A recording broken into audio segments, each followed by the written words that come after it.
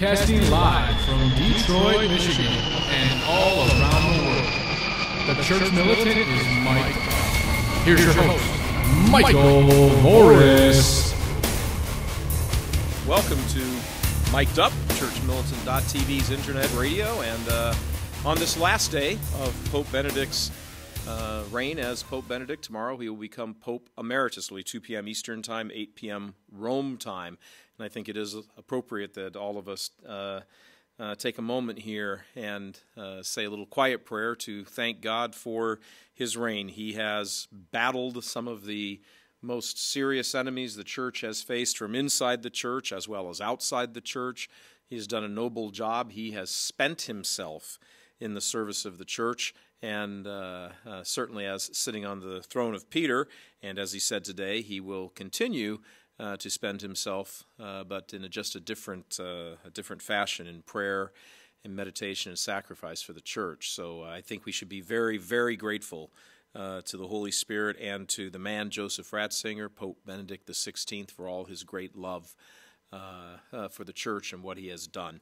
we have with us once again this week because he is just a, such fantastic, knowledgeable, good good expert, not to mention a wonderful priest dedicated to the church and who loves our Lord very well, very much. Father Z, Father John Zuhlsdorf of What Does the Prayer Really Say blog. Father, how are you?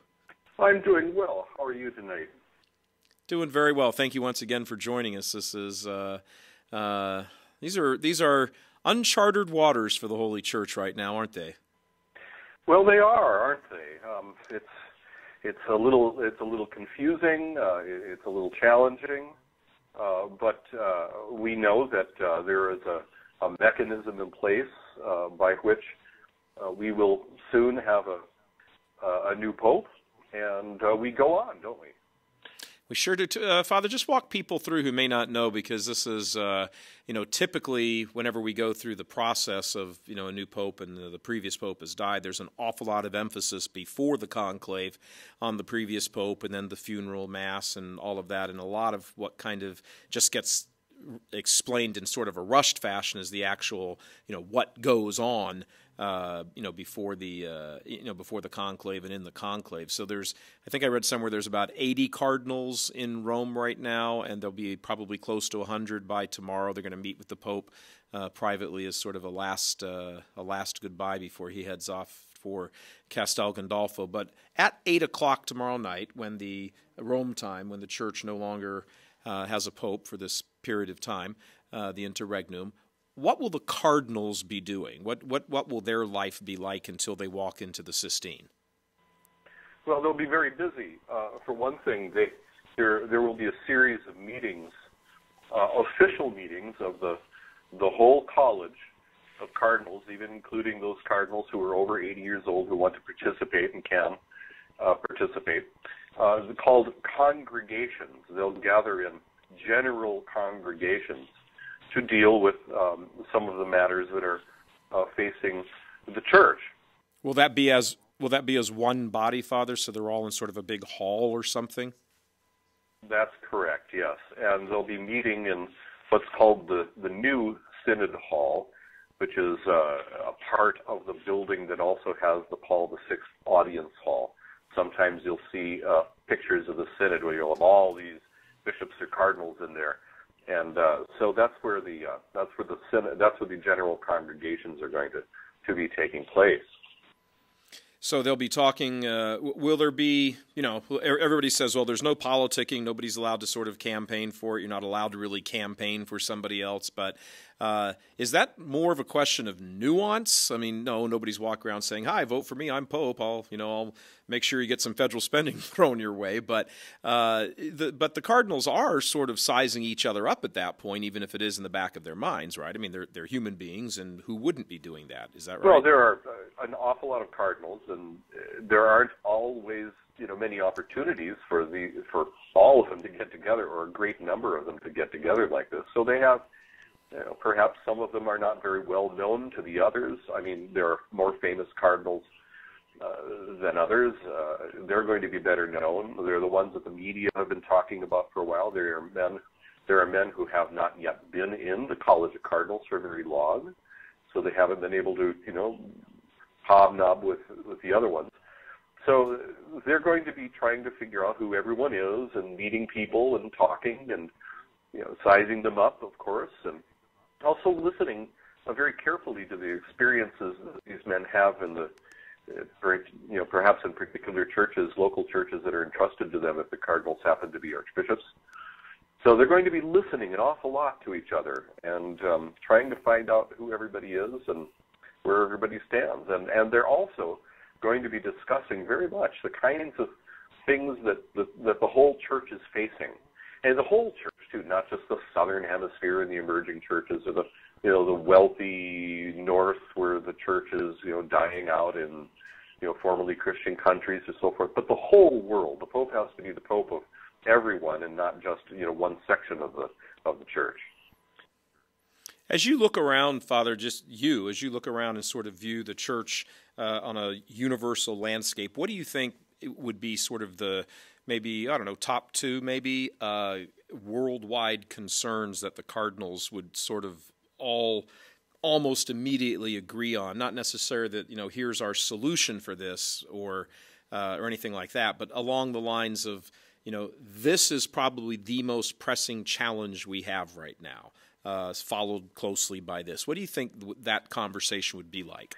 Well, I think a lot of it comes back to the Holy Father's desire that we have a year of faith this year. Uh, he didn't just you know, come up with this out of nothing. I mean, he's been looking around the church for years as pope and for years before that as prefect of the congregation. And I think we all have to ask with him, you know, when the Lord returns, will he find any faith on earth? And so this project of a new evangelization to help revive, uh, promote and revive evangelization or promote the faith in those places where it has grown cold, right? Yep. and also yep. the places where it is emerging to to make sure that it's the Catholic faith and not you know some other faith.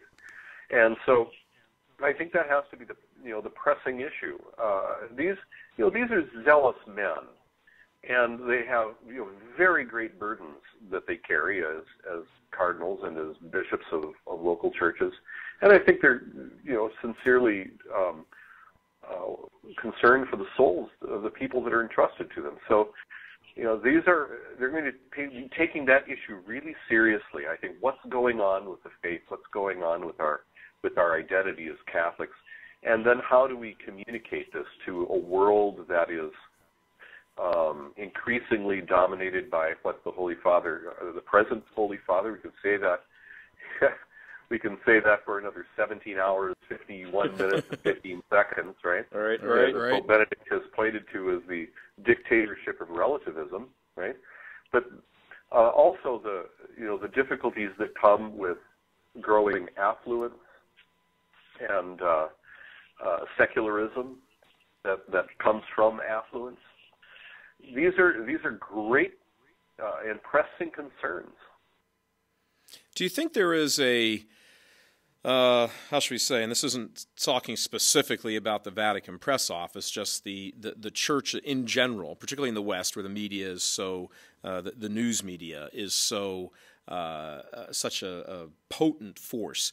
Do you think the one of the things that has hampered the church uh, recently here in these last maybe 15, 20 years has been kind of an inability to really deal with the media in any sort of effective way at all? I mean, the, you know, it, it always seems like you know, it's like somebody from a hundred years ago having discovered a television. It's, uh, I mean, you know, you obviously are, you know, big on the internet media.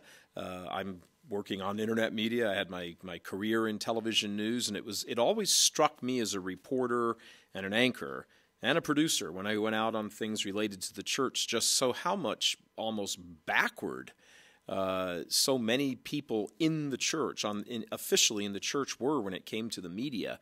Do you think that has been a problem uh, uh, for the church? And as we move forward, of course, you know now there's even there's not just media, now there's social media uh, on top of it. I mean, does the church really need to kind of step up their their effort in this area? Do you think? I do think so, and you know, the church is, you know, kind of getting its act together. I mean, the Holy See is getting its act together with social media and with the, the media. They've made remarkable improvements in the last uh, couple of years, as a matter of fact. But uh, yeah, uh, they you know we're behind the curve. When I was uh, working there, uh, in, and I had a position in the collaborator in an office of the Vatican. I my my old phrase was, you know, yesterday is technology, tomorrow. You know, and um, yeah, yeah. And in the you know in the Vatican we update our equipment every 75 years, whether it needs it or not. Right? so we it, it's it, yeah they, they've been a little uh, a little standoffish with it. I think I think for a long time they were a little bit afraid of media, and uh, frankly, um, you know John Paul II did put out some good things about you know putting out into the deep, right, using the internet, talking about an information age Pope Benedict has started talking. You know, he started talking about a a digital continent that we live on, mm-hmm. right? Yep. We're yep. not just in a village, but we're in a digital continent now, and uh, this is a, a revolution. And the church is, you know, going very carefully and uh, maybe at a at a pace that's a little bit plodding, but but they're starting to get there. You know, I'm I'm seeing some really positive things happening with media, and I think the Holy See also um, understood that they needed to deal with the media a little differently. That's why they brought in uh, uh, my friend Greg Burke, mm-hmm. right, mm-hmm. who uh, was uh, the Rome correspondent for Fox News for many years, and you know, very capable guy, very savvy, and uh, he's helping them kind of as a sort of a communications director, helping them understand and work with the media a little bit better. And from what I can see, he's doing a great job.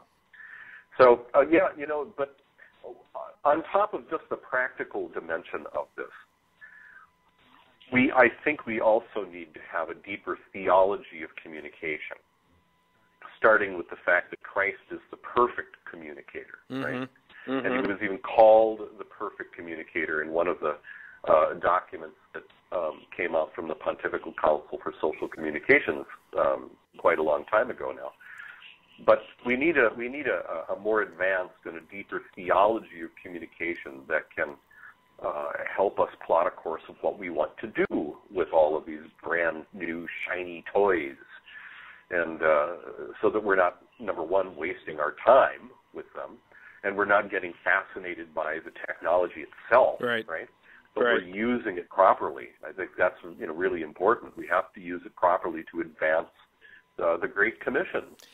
Do, do you think, Father, that uh, these, oh, this last week or so, last 10 days of all of these various reports coming out and, uh, you know, that all there's all this massive infighting in the Curia and, you know, the, uh, the, the, you know, 300 page report that was prepared by the three cardinals. Let me, let me just let me just stop you right there, Michael, because I'm not going to go into that. Okay. All right. All right. There's just so much. There's just so much uh, irresponsible speculation about this stuff that I don't think it really does any good to contribute to it. Well, I, yeah, I was going to get into that stuff. I was going to ask you, do you think those are the sorts of not, not the report itself, but that you know these zillions of press reports about all the infighting you, in the Vatican itself? Do you think that this is something that uh, that the cardinals themselves in conclave will have to look at as a uh, you know as a as an issue when they're thinking about the next pope? I mean, even the uh, even uh, Father Lombardi, you know, released a statement and said that, uh, you know, that they believe, or somebody in the Vatican believes, that all of this speculation and craziness and all this stuff is going on to try to somehow tip the hand of the cardinals and not get a European elected. Uh, uh, so, I mean, that's that kind of conversation would have to come up amongst the cardinals themselves, also, don't you think? Uh, I don't know about that. I, I suppose um, there will be some uh, some of them who are going to be talking along those lines. Yeah, one of the points that they are going to have to probably consider along the line is the is um, a reform of the Roman Curia. You know, so uh, sure. I mean, maybe some of these issues will come up. Uh, I think that they'll be looking. I think they're really going to be, you know, focusing on identifying the kind of you know, the kind of brief, the, the agenda items that the next uh, pontiff is going to have, and then trying to match that with a man who's, you know, holy, prayerful, and who will be able to, you know, tackle as many of those points in the brief as possible. Do you think that uh, we were talking about the media before, uh, and we talked just before the uh, j- just before uh, getting on air here? But you know, there was a report out that um, on Friday after Ash Wednesday, when the Pope met with uh, some of the priests from Rome, uh, that he you know sort of launched into a shortly less than an hour, almost sort of freewheeling discussion. And I'm quoting from an article right here that you actually did a lot of the translation on. that it's quote, and this is for our viewers and listeners. Quote: Pope Benedict said that popular understanding of Vatican II has been long distorted by its coverage in the press. He means the secular press, which presented the council as a political struggle for popular sovereignty in the church. That's the first sentence, and I want to go to the second sentence. But let me ask you about that, Father. Do you think, do you have a sense that that's, uh, that's how the, the secular press sort of characterized the, uh, uh, the Second Vatican Council as like this struggle between right and left, good and bad, you know, reform, and you know, the old the old doting guys who wanted to keep everything the way it was. Well, look, I, I think we we often fall into uh, I don't know if it's a trap or not, or you know how useful it is just as a kind of shorthand to talk about the left and the right in the church, right? Or liberals and conservatives in the church. Those are you know kind of political terms that we import right. into right. talking about the church. So we do it, you know, we do it too, don't we? And you know the the, the press, you know the what is it? The fourth estate, you know, out there is out there. right. They're not exactly you know, they've never been, you know, name a time when the press has ever been friendly toward the church, right? True that. Uh, because they're they're chasing they're chasing after ephemeral things, things that change and flit every day. Uh, they barely, you know, barely, uh, you know, talk about a story before they've all, you know, turned their attention onto some other story and yet the church is, you know, talking about things that are eternal, you know, the, the slow curve and arc of a person's life, right? And then trying to get to heaven. So we're we're we're juxtaposed. You know, we have the our our king and captain who is Christ, and the world has its prince, right? Sure. And, you know, the, the the the prince of this world can, you know, manipulate his agents to talking badly about the church uh, they can get you know fascinated by the story or the, the details instead of the the point of it. And you know when when the, the Second Vatican Council started, we were just really on the cusp of a brand new media age, weren't we? It, wasn't it wasn't it just that same year that Telstar, the satellite Telstar, was launched? Yeah, it's true. Yeah, it's true. 1962. Yep. Yeah, so they were really they were really trying to do something new. They were able to communicate with the whole world at once, and yet they were up against a, a, a culture that was, you know, very secretive in its deliberations and not terribly forthcoming, right? So they began to apply pressure through, you know, different groups. There's a, and and people both within the council and experts in the council and journalists around it and creating their own spin so that they would have something to report, right? Mm-hmm, mm-hmm. And that kind of thing took on a life of its own. Sure, so that sure. people became more fascinated with the reportage than they, you know, did about the actual documents themselves. Hmm? Yep. And so there's this parallel council kind of uh, er, broke away and began to get all, you know, suck all the oxygen out of the room to to feed its own fire, fan its own flames. You know, and that's what the Holy Father was talking about when he got together with the clergy of Rome that day that there was this almost like this parallel council. But the Holy Father putting a you know talking about, at the same time about all of the the bad things that resulted from uh, a, a bad interpretation of the council, the event of the council, the moment, the meaning of the council. He also said he also gave the impression that he thinks that that time is coming to an end. Right? Mm-hmm. Mm-hmm. He said some really positive things about that. That virtual council which was, I think, the way he put it, stronger than the real council, is starting to fade. It's it's it's losing its its steam. And I think one of the ways that we can see this is within the last, I don't know, maybe five years or so, it's maybe intensified. People are actually uh, being allowed now, shall we say, to ask tough questions about the interpretation of the council. Right. Was it interpreted properly. Yeah, was right? it was our Whereas was, ten was years our, ago, that was almost impossible even to bring up the subject. But now we can actually talk about Sure, it. Bishop Schneider from uh, Kazakhstan. Uh, I think that was what a year ago, I believe it was, or maybe it was a, maybe it was two years ago. I can't remember now. But was he spoke in front of Jesus, a huge number of the uh, of the curia, and then some visiting bishops, and said that uh, you know perhaps we have to go back and produce sort of a, a syllabus of errors on the misinterpretations that have come to us from you know these various you know sources that weren't actually part of the council, but you know sort of grew up alongside it, as you said. And uh, uh, I mean, you can't imagine a comment like that being made, much less to a hall full of bishops and cardinals ten years ago. Well, that's right. I, so I think I think that this this whole thing about a virtual council or a misinterpretation of the council, in other words, that um, what the Holy Father did in one of his most the most important uh, moments of his pontificate, that uh, that uh, foundational speech that he gave to the Roman Curia in 2005, you know, in which he began to talk about the hermeneutic of discontinuity and rupture, mm-hmm. as opposed mm-hmm. to what we now call, by shorthand, a, a, a continuity, a hermeneutic of continuity. He was talking about reform, right? But the proper kind of reform, properly interpreted, so that we're not uh, we're not we're not taking the council in a direction that it should never have gone. Or what we need to do is apply correctives and you know get back into the line of continuity. So that was one of the most important things, one of the most positive things that uh, His Holiness Pope Benedict, and we can still say that for 17 hours, 37 minutes, and 45 seconds. um, that's one of the most important things that he did. You know, think about even in the short pontificate, he did some he, he has done some great things, hasn't he? Right? There was has, that. Has he, has he done wonderful things? Wonderful things. Father, let me let, let, let, let me interrupt you for a second, Father. We, we just need to take a very quick commercial break and stay with this thought because when we come back, I want to hear from Father Z for all of our viewers and listeners. Uh, you know, give us the highlights that you think, and I'll give you a moment here in this break, Father, to, to collect your thoughts on this. Give us the highlights. What will Pope Benedict's reign be remembered for? That's our question for Father Z when we come back right after this little break. Sick of TV and its cultural rot?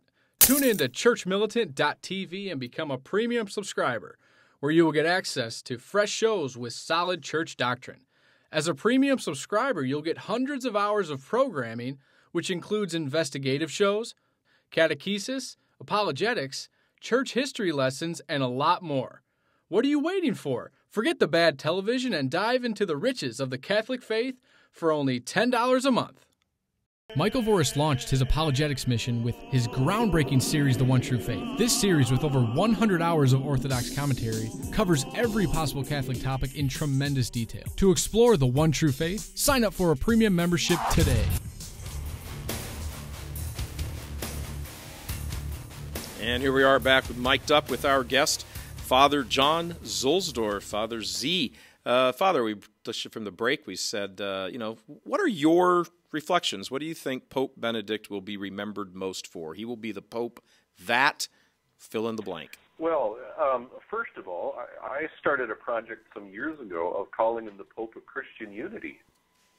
Uh, he he helped us, uh, I think, redefine or sober up about what ecumenism really is, right? Mm-hmm. Yeah. And it, he Mhm. he Yep. he he reminded us that you know the Roman Pontiff, the, the Pope gets to determine what is true ecumenism, and one of the things that he did was that magnificent gesture through the Congregation of the Doctrine of the Faith um, of his document Anglicanorum Coetibus, by which uh, Anglicans were able to come into union with Rome. Right? He also reached out to the Orthodox in a new way. Um, even within the time that uh, after Anglicanorum Coetibus, there have been some people, you know, talking about maybe maybe it would be possible to have something like a Lutheran ordinariate. You know, imagine talking about something like this, you know, ten years ago. Sure. It's absolutely Sure. impossible to imagine.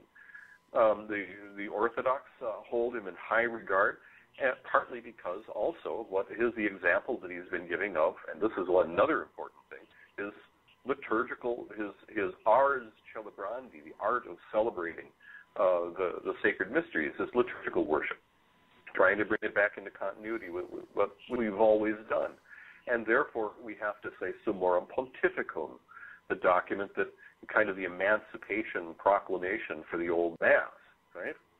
And uh, that was uh, amazing in its impact, and it's going to have a huge knock-on effect uh, over the next 20 years. An amazing uh, effect. Among the other great things that one can think of, I mentioned that great address to the Curia back in 2005, but also everybody should go back and look at the Vatican website for his first uh, message for the World Day for Peace.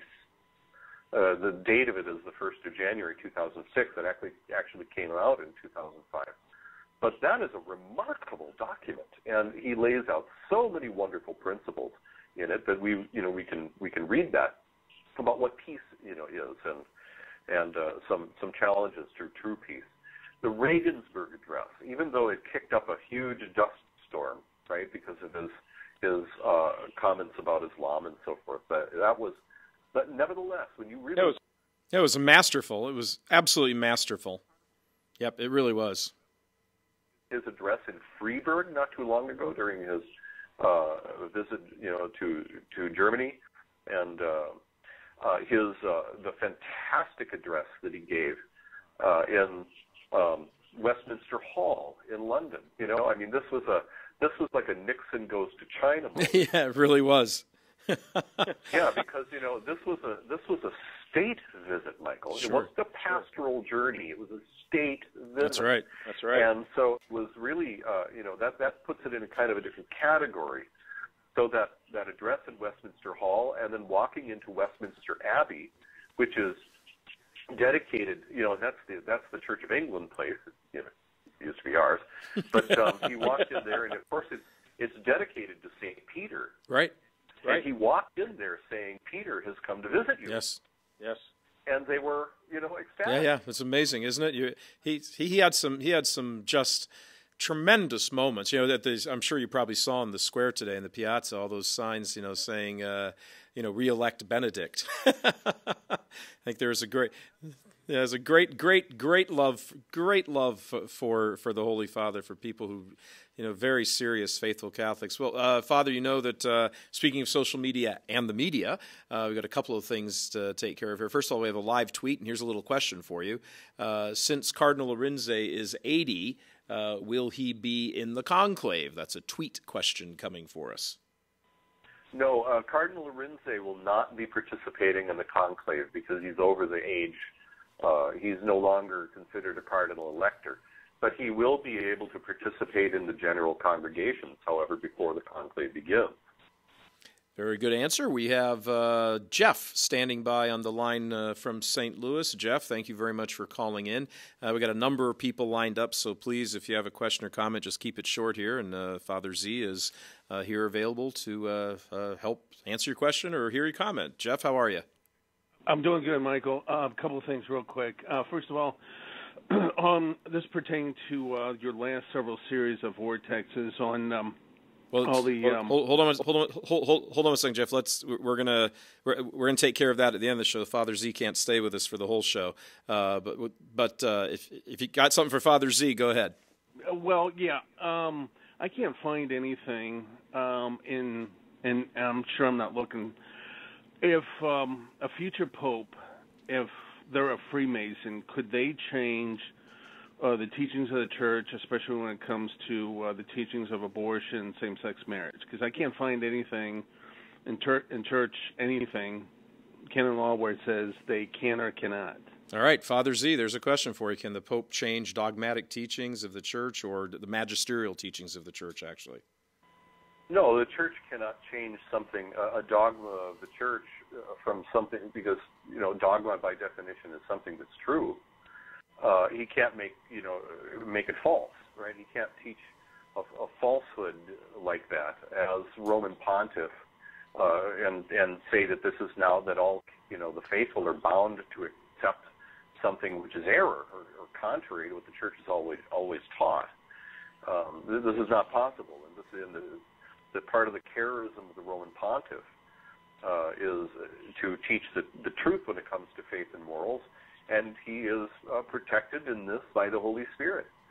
Uh, even when there's great great pressure uh, to change something, uh, popes always, you know, stand up and defend the faith. And I think a perfect example of this is the incredible pressure that uh, Pope Paul VI was put uh, under in order to, you know, basically change the church's teaching about contraception. And he did not.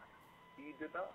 Even though the pressure uh, of the world was coming down on his on his shoulders, this is an example of the, the Holy Spirit uh, at work protecting the the, the Pope's uh, the Pope's charism to teach the truth and defend the truth uh, concerning doctrine, you know, faith and morals. And it really is kind of funny, Father, right? Isn't it? Uh, and Jeff, stay on the line. When Father's left us, we can get back to your other questions. But uh, it's funny, Father, when you read through all of these different. I mean, Sally Quinn had a, a, article in the Washington Post. I don't know if you saw it or not. It's not like the first thing you run to uh, when you're uh, during the middle of a you know the interregnum. But she put had an article in the uh, in the Washington Post saying uh, you know, the church needs to, as so many secular journalists have, you know, maybe the next pope is going to, you know, you know, loosen the restrictions on, uh, you know, on birth control, and you know, we have to re-examine same-sex marriage and you know, homosexual relationships, and just on and on and on, and. Uh, uh, it, it's almost like they're, you know, it's like they're talking about a change in administrations in the White House,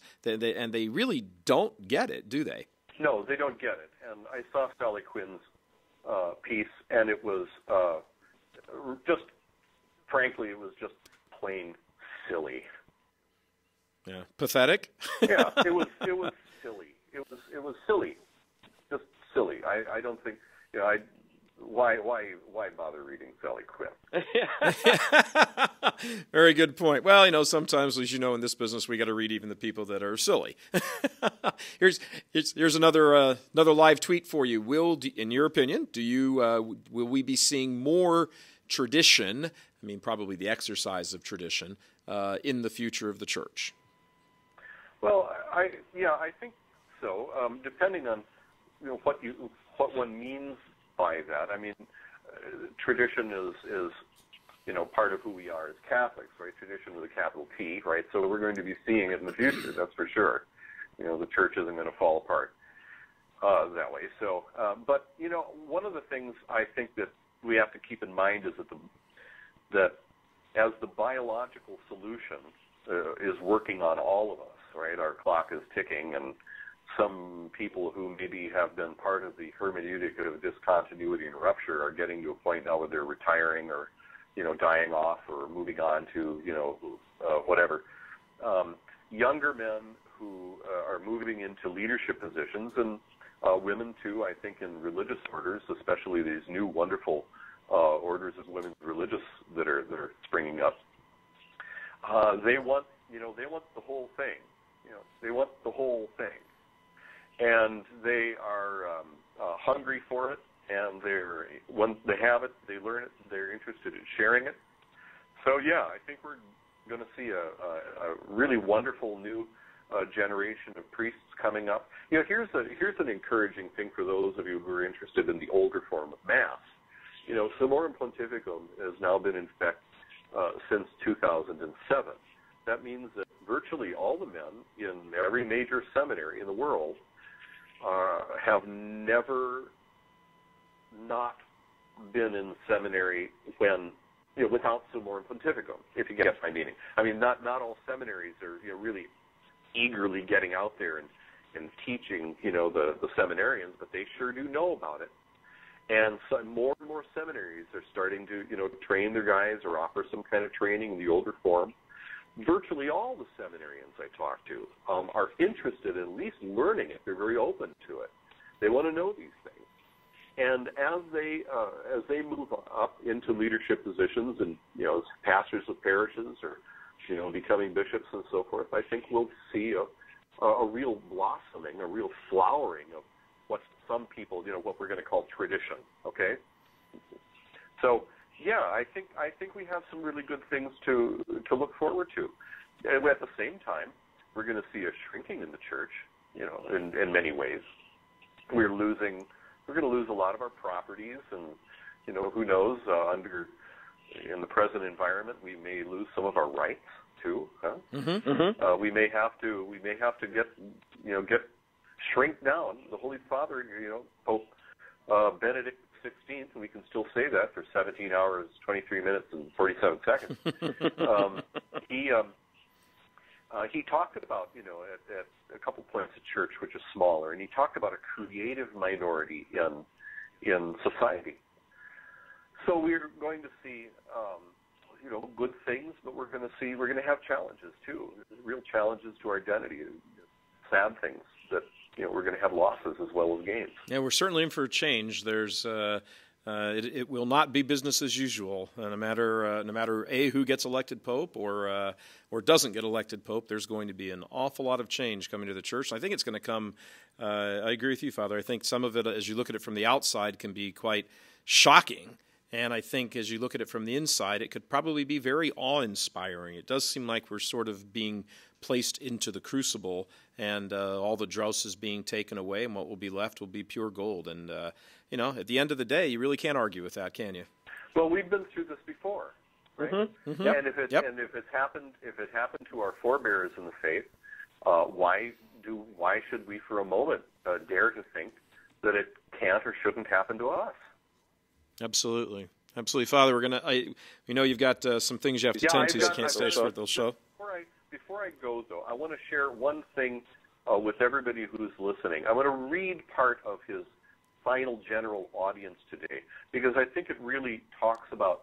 I, it really gives you a, a sense of the man I knew when I was working in Rome. I got to know uh, Joseph Cardinal Ratzinger a little bit, and he and he he this this really so characterizes a bit what this man is really like, and I think what he is also going to be doing for us in his uh, retirement, if that's what we're going to call it. And I'm going to quote now um, this this paragraph from his general audience, the last one today. We are in the year of faith, which I desired in order to strengthen our own faith in God in a context that seems to push faith more and more toward the margin of life. I would like to invite everyone to renew firm trust in the Lord. I would like that we all entrust ourselves as children to the arms of God and rest assured that those arms support us and support us to walk every day, even in times of struggle. I would like everyone to feel loved by the God who gave his Son for us and showed his boundless love. I want everyone to feel the joy of being a Christian.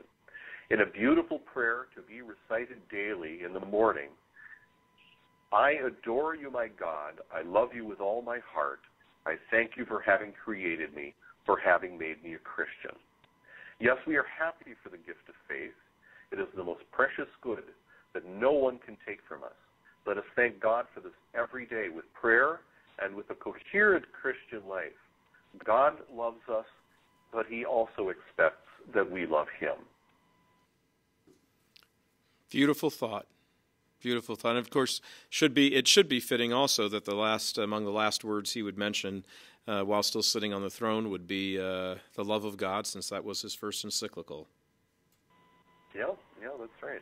That's excellent. So, you know, Father, thank you very much. Uh, we're we're going to take a commercial break, but not without saying goodbye to you and thank you very much. We know you're uh, uh, you know you're uh, rushing off. It's th- things are busy. Life is busy right now, right? Yes, it is. as they said, the old thing is, as the poet said, uh, life is real, life is earnest. The grave is not the goal. Okay? so we'll talk to you later. Excellent. You God, God, God, bless everyone listening. God bless. As Father Z from the blog, What Does the Prayer Really Say? Fantastic priest, knowledgeable, holy, dedicated to the love of the church and Christ. So that's our little plug for uh, Father Z, which I guess is probably the best plug you can give for a priest. So we're going to take a commercial break. When we come back, we've got uh, some uh, more things to uh, talk about and uh, uh, some entertaining thoughts as well. We'll be right back. ChurchMilitant.tv, mic'd up. Catholics are born for combat. And having the right ammunition to defend and learn the faith is easy. Just aim your browser at churchmilitant.tv. Go to our login page and sign up by clicking on the premium member icon. Then you and your family can choose from hundreds of on demand programs, all for about 33 cents a day. Become a premium member of churchmilitant.tv today. From ChurchMilitant.tv's new series, Right Reason, Dr. Charles Rice explains Pope John Paul said faith and reason are like two wings. on which we rise to the truth. Become a premium member today to gain the right reason to understand your Catholic faith. Alrighty, welcome back. Michael Voris here with ChurchMilitant.tv's Mic'd Up. Uh, we have to make a little apology for you here. Uh, we just got uh, a word a little bit ago that uh, Patrick Madrid, who you may have seen uh, in some tweets and promos, uh, was scheduled to be on the show. there's been a little technical situation, I suppose we could call it, uh, on his end. And uh, he unfortunately had to bail at the last second and uh, expresses his deep apologies. We'll obviously try to get Patrick back on the show at another time. But uh, uh, tonight, unfortunately, well, this is sometimes the uh, this is sometimes what happens during live TV and live radio. things get out of our control and beyond our reach, and well, that's so we apologize for that, and more importantly, extend Patrick's uh, apologies uh, as well. So, uh, moving along now with the show, we have a phone call from uh, Ryan in Denver. Ryan, how are you doing? Hello, Ryan. Are you there? Can you hear us? Can you hear me? There you, there go, you go, Ryan. We got you. Oh, sorry about that. I'm doing good, Michael. Just uh, enjoying your uh, you and, and Father Z's talk, and just uh, isn't he good? He knows he he knows everything. That priest knows everything. yeah, I'm looking looking forward to those talks on the Lenten retreat. It's going to be awesome. So, fortunately, won't be able to make it, but uh, looking forward to just watching the videos. Um, I have it. Yeah. So I wanted to just uh, to call in uh, just to say a few words about the Pope, just how grateful and blessed we are to have Pope Benedict, and uh, I wanted to ask you, you know is there? I know all, you'd say all encyclicals are a must read, but if there was one, maybe one book or one encyclical that you would, you know, tell us that we would be a really good one, to, you know, the first one to read at least, that just kind of maybe sums up uh, some of his best work as Pope. Or is there anything that jump that comes to mind? Was one of the questions I wanted to ask you. I guess one of the first ones that, that would, uh, uh, you know, jump to mind immediately would be uh, I think it was his second. Matter of fact, let me check right now. I think it was his. Uh, uh, I think it was his.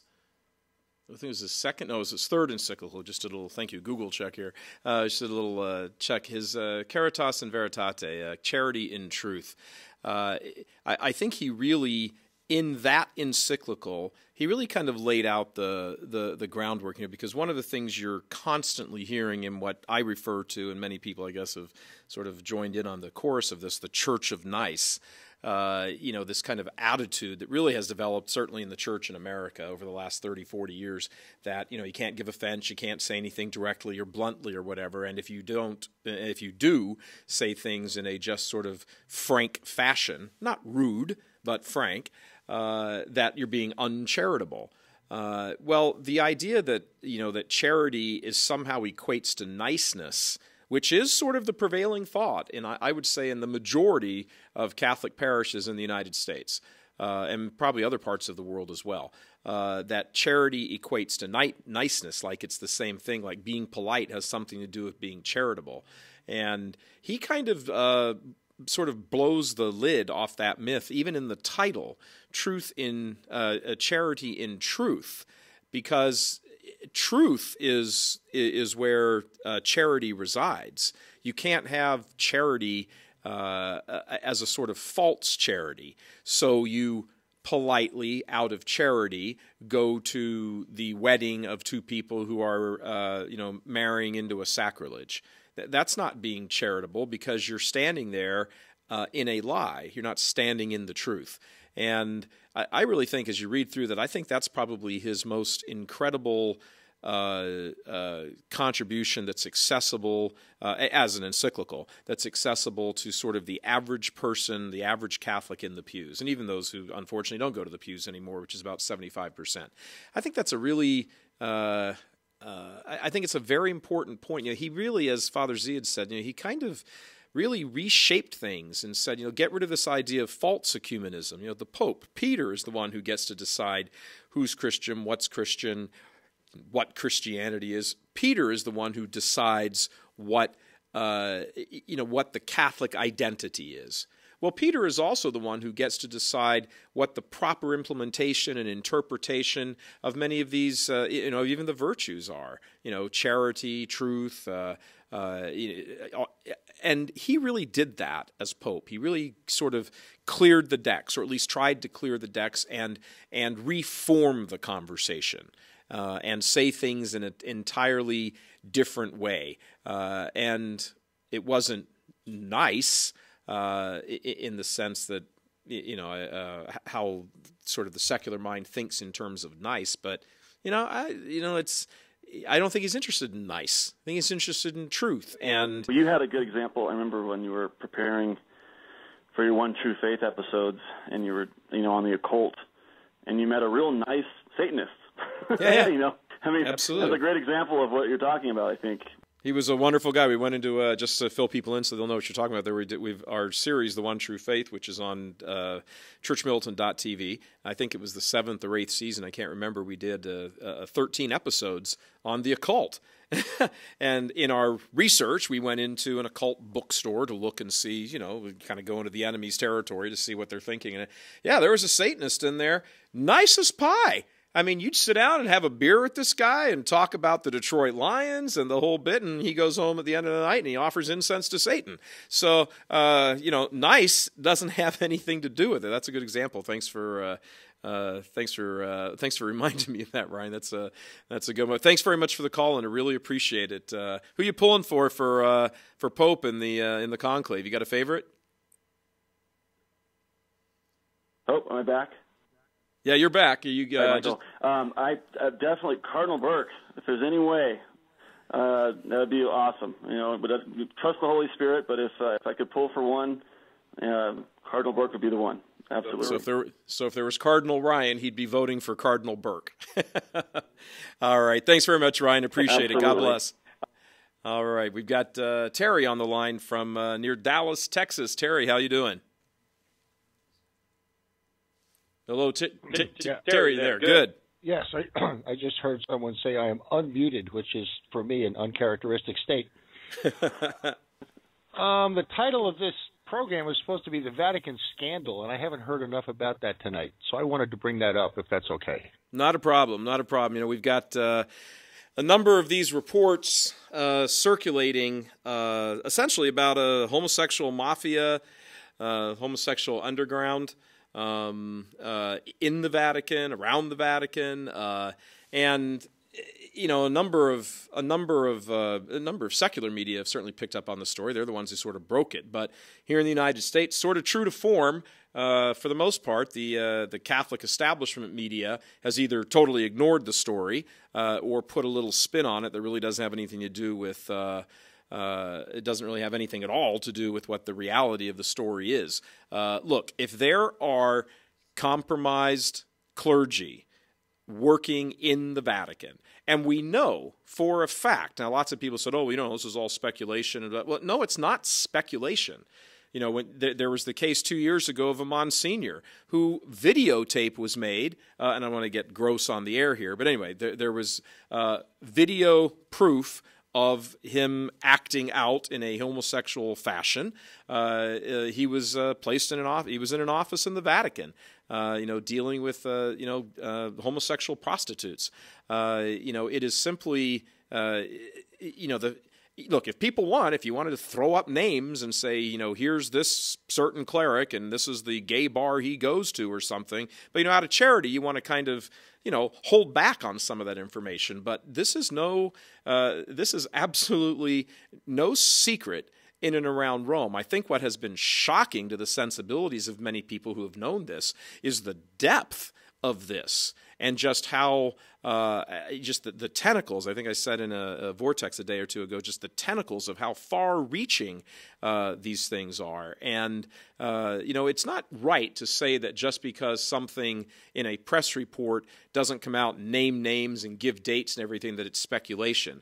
No, very often, very often, journalists, and I was one, I still am in this capacity, but as far as in the secular media, secular media journalists oftentimes, oftentimes will not tip their hand uh, because they want to make sure that they keep their sources coming to them. If they say too much and their sources get a little nervous or, uh, you know, they'll withdraw and they won't keep. So, you know, they'll say things in veiled phrases so that people can understand, or uh, or so that nobody in particular gets pinpointed in something. So uh, you know, this isn't just a bunch of people going off half cocked making up a story because they all stumbled out of a bar at three o'clock in the morning near the Piazza Navona and don't know what to do, so they just all went up and made up a bunch of stories. That's an absurd thing. But if you looked at the Catholic establishment media, particularly in the United States, you'd think that's what happened.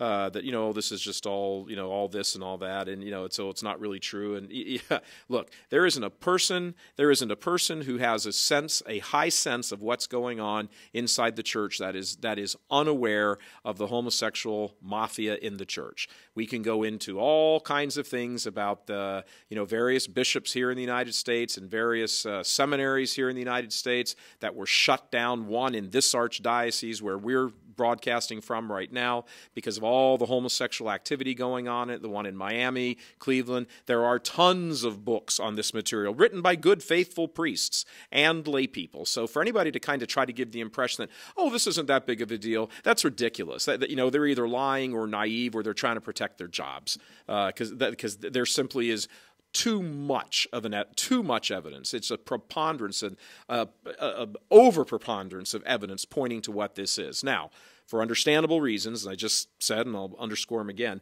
there are journalistic integrity reasons why sometimes, oftentimes, a reporter or a journalist, or in the case of TV, a producer or somebody, will not reveal more of a story simply because they want to protect their sources so their sources will keep giving them information keep giving them documents keep giving them uh, you know pictures uh, you know videotapes uh, you know audio recordings. They, they and so sometimes things have to be written and presented in something of a circumspect way so that you can keep getting the story out there. Sure somebody could come out and say yeah you know i was told by blah you know that this bishop and this priest and the three secretaries in his office did X. And then that would be it. That would be the story. But there are some people involved in these stories who want to make sure that the story keeps being told so that the, so that the evil actually gets expunged. Uh, so does that, does that, does that help you, Terry? I, but, I, I, would like, I did some homework before calling in because uh, uh, I, I thought I remembered and I looked it up last July 23rd and July 24th you had consecutive Vortex episodes. On July 23rd from St. Peter's Square, you had a Vortex episode that had the title Gays and the Clergy.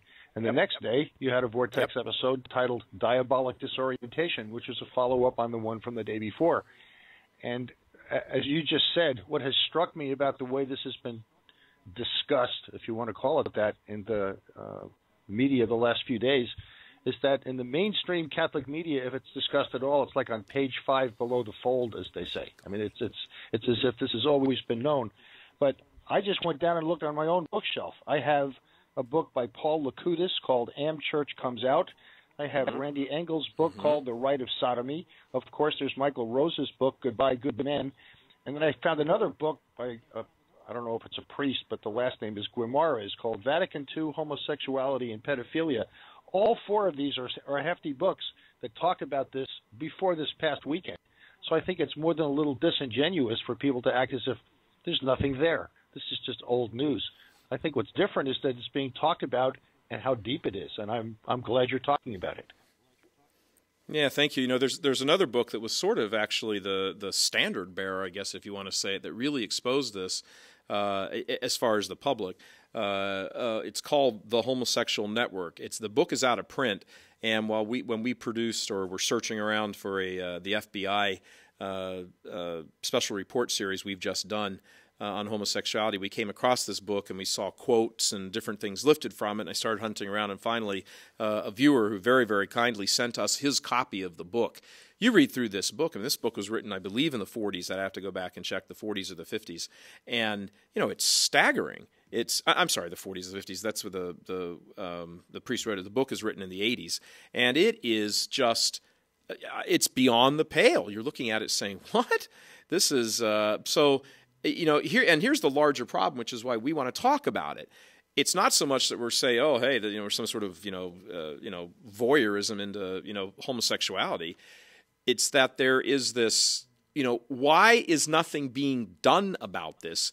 Is is there look, there's one of two things. There's either an acceptance on the part of people in the church who have the authority which would be the bishops and different chancery officials, people who know all of this stuff, they either can say, well, we'll leave these men in place. and we're not. Ta- let's be clear here. We're not talking about the you know the sexual abusive uh, abusing minors priests. That's not who we're talking about.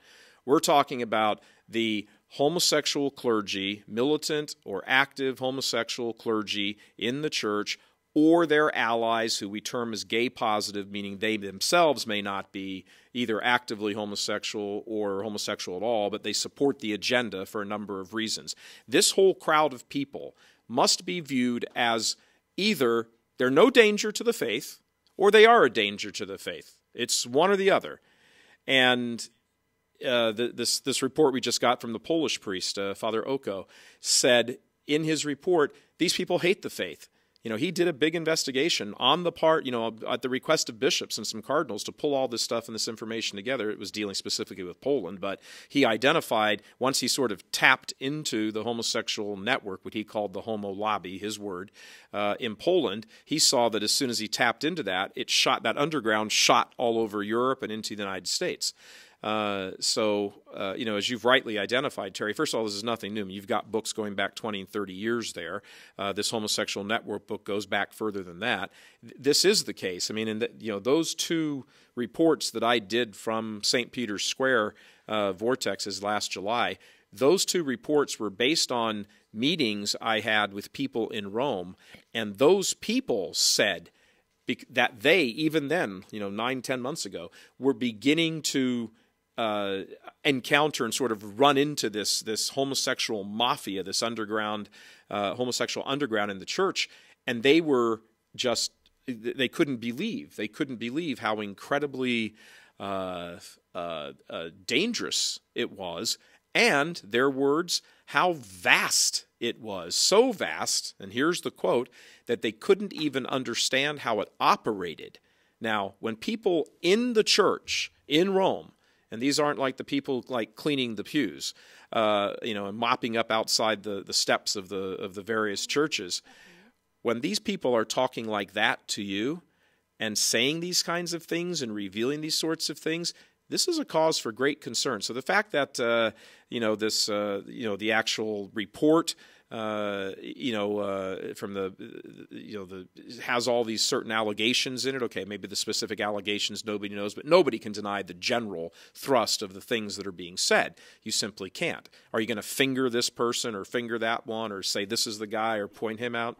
You know, drag this one out of the closet. I mean, you know, that's that, that's not the point of the reporting. The point of the reporting is to say that this collective is dangerous to the faith, and this collective has got to be exposed. And I think it's telling that the Catholic media, the Catholic establishment media here in the United States, television, radio, many of the newspapers simply will not touch this story. They won't touch it because they know too many of the bishops don't want it being talked about. You know what? Too late cat's out of the bag it's going to be talked about. And, and and are you kidding me? Do you think this topic is not going to come up in quiet little side conversations amongst numbers of the cardinals in the conclave? It's ridiculous. Of course it is. It's been all over the news for two weeks.